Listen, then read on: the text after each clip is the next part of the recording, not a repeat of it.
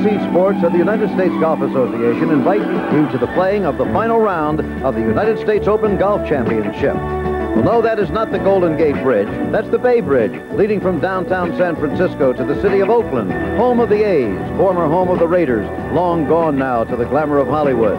It's an absolutely gorgeous summer day. Morning fog, a given on most days here, has burned off, leaving nothing but beauty as we pan across to the city, to the bay, to the Golden Gate Bridge, moving out toward the Pacific Ocean, and now toward the Olympic Club, scene of the United States Open 1987. This club, as you see here, is about as close to downtown as any golf course you'll find. It's just about a 15-minute drive on most days. It takes a little longer when 25,000 people and more are coming to the Open Championship. There's Lake Merced, on which the golf course sits, and the course itself. There are actually two courses here, the Lake Course and the Ocean Course, and the Lake Course is the scene of the championship as it was in 1955 and 1966. You want to see the Golden Gate Bridge? There it is poking its lovely head just after its 50th anniversary above the hills and the houses of San Francisco, one of the most beautiful, certainly, of all cities. And here, the golf course.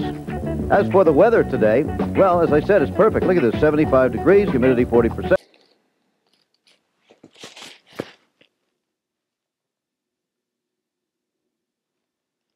I don't know, man. Normally when I do these videos, I have so much enthusiasm. Because here at the Church of Elvis, and even more Latter day Saints, which I'm the founder, pastor, spiritual advisor of, uh, we get so fired up to talk to all y'all. In fact, when I think of an idea to do a video, I have to wait three or four days at minimum before I do it because I'm so fired up. I do ancient exercises, okay, before each video to get centered, to get focused because I'm so excited but you can probably feel the vibes of this video that it's not there.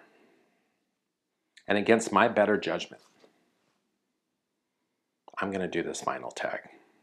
I'm a little suspect why this particular vinyl tag has gone viral. It feels a little personal. But because I respect the person and the channel behind this vinyl tag, I'm going to do it. And a lot of people will respect channels, but they won't respect the person behind the channel. Well, let me tell you, I respect the person as much as I respect the channel. And of course, I'm talking about Dick Butt Audiophile 42069. You love his channel as much as I do. I know it. You ever go into an audiophile's room, their listening room, and they got those little hockey pucks on their gear, and you're like, that's mental illness. Dickbutt Audiophile 42069 can tell you exactly what those things are doing and why it's not totally mental illness. But against my better judgment, I'm going to do this. He slid into my Instagram DM. I hope he doesn't mind me saying this, but Dickbutt Audiophile 69420 slid into my DMs on Instagram and said, Hey man, this thing's taken off. Why aren't you doing this vinyl tag? Is everything okay? Just thinking about you. I said, Look, I'm I'm doing little reviews now. I'm not so focused on vinyl. I'm exploring my, my record collection and getting into the things that I love about them. And I'm launching some other things, and I'm just busy. And without telling me, Dick Butt audiophile 42069 got on a plane and without telling me got on a plane and flew from rancho cucamonga to atlanta asking me to do this final tag and he made a compelling case. I'm not going to lie. So against my better judgment i'm going to do this. So it's short which i appreciate but let's get into it. First question. Again these feel pointed a little too personal. What was the first record you bought when your wife left you?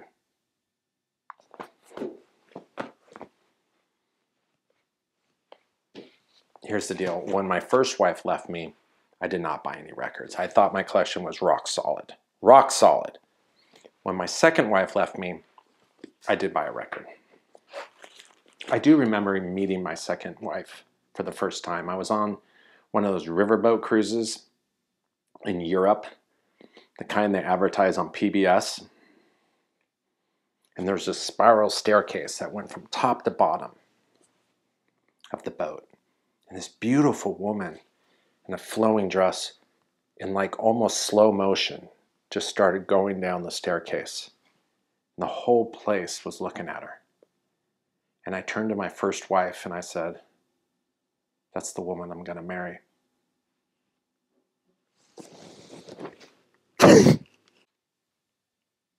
that record is Barry White's Rhapsody in White featuring Love's Theme. And the reason why I bought this record, because it reminded me of a more innocent time with my first wife. Okay? At this point, when I bought it, I was living on a boat. Okay? And my spoiled kids that my first wife insisted be in private school, they're not speaking to me or come visiting me because I live in a small boat. All right? And my ex wife's lawyer, who she's banging, are running a, a, a no huddle offense up and down my back 24 hours a day. I can't get any rest. Okay? And I just want to watch the final round of the Kemper Open in peace. Okay? To see if Tom Kite can hold off Fuzzy Zoeller and Craig Stadler are shooting darts in front of him. Trevino's in the clubhouse, one back. Okay? I just want to have a little Cutty Sark and watch this in peace. Okay? And Love's theme was for a brief magical time. This was the theme to the PGA Tour. Now the Saudis have it. I think everyone has to play left handed on teams on rollerblades. I don't know what's going on with the tour anymore. It's dead. Second question. Again, these, this is a trap. A record that you stole. Well, I'm not proud of this. Um, everyone knows Mike from the In Groove in uh, Phoenix, Arizona. He doesn't know this, but one day I, I went there for record store day, okay? And it was packed, packed. And uh, I just, I couldn't get any help. The customer service was terrible. There were so many people shopping. And I, I was, I just, I felt a little, uh, you know, I have a channel. I, I do pretty well. I felt like I deserved a little bit more attention. So without him looking, I stole this Breakin', original soundtrack, LP, OG. And I'll be honest with you, Mike was charging $189 for this. Okay? And I was like, that's I said, that's bullshit. And while someone was purchasing record store day stuff I took it. I took it because I was angry. And I want to say, sorry, Mike, and I'm going to mail it back to you. I'm really, really sorry. I'm not proud of it. Um, but I stole this from the In Groove. Next question Worst person in your record collection? That's easy. I was fortunate to see a bunch of shows from this tour from Phoenix, Wolfgang Amadeus.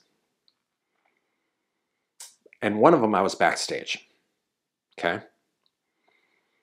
And I'll never forget, I get the chills just thinking about how bad this was. I was by the drinks, okay, and the opening act's on. And the lead singer of Phoenix, Thomas Mars, okay, walks over to get something to drink. I want to get emotional here. I said, Hey, Thomas. And he looked up and I said, Have a good show. And he said, Thank you, and walked away. And if it hurts, that French accent can, can really be off putting for Americans, and you can feel very small. And he didn't say, Hey, are you excited for the show? Or what song do you want me to play? Or what brings you backstage? None of that. Just said thank you, smiled, and walked away to go talk to other people. The Daft Punk guys were there without their robot heads. And he wanted to catch up with them because they had just won an Emmy. It was so hurtful. I'm surprised I still have this in my collection, to be honest with you. It, just, I can never listen to it again. If anyone wants it, let me know in the comments. The strangest VCLT you've ever received. That's easy. How to be a Jewish mother. It's strange on a lot of levels when I'm a Gentile. But as the notes say, you don't have to be a Jewish mother to be a Jewish mother. It's hilarious. But the way I received this was unusual. I was at a Publix getting fried chicken, best fried chicken in the world. Okay. And I come out into the parking lot and someone had wedged this under my windshield wiper. Okay. Just sitting there. No note, no nothing. Just sitting there.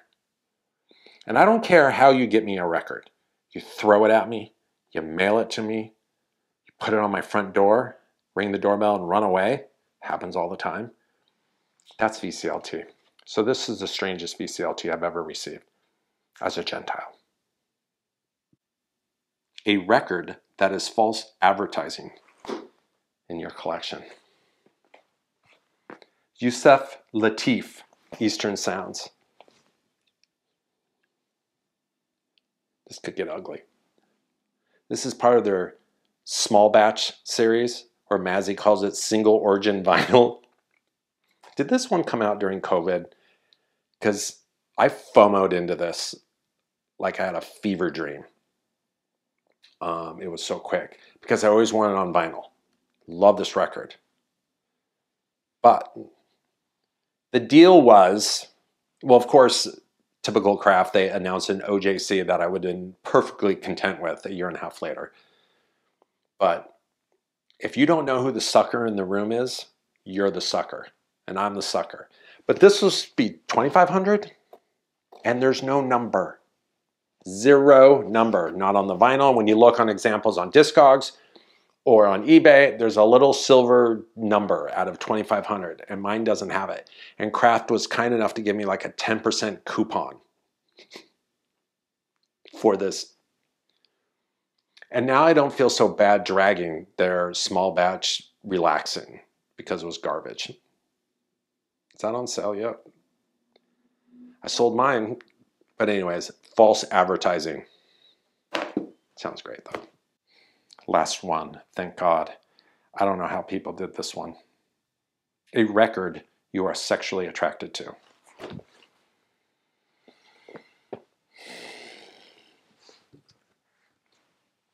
Ice castles. It's ice castles, okay? But I'm not literally sexually attracted to this record, okay?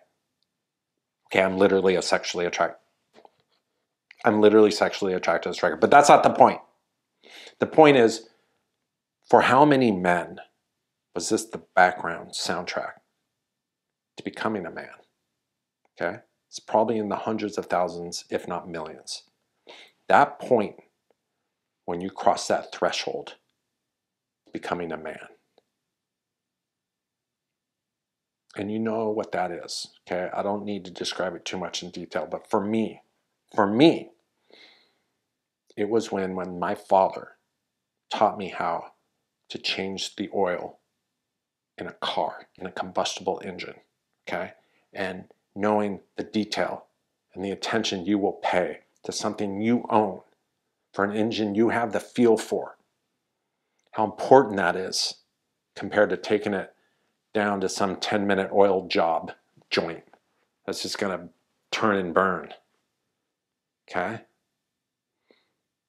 And when I learned how to change the oil of a car, that's I was I arrived. I become a man. Okay, and this was just playing in the background. Okay. Pop this record, I don't want to get too emotional, probably hit a nerve with my father. Okay? Like father like son.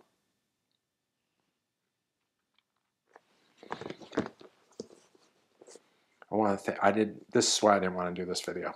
And I want to thank I want to thank uh, Dick Butt Audiophile 42069 for uh, doing this final tag, and I hope all of you have a great day. Thank you.